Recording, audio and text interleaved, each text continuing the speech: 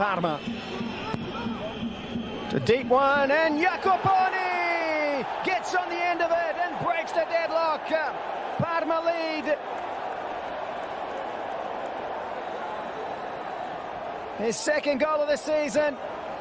He had an opportunity to start the second half.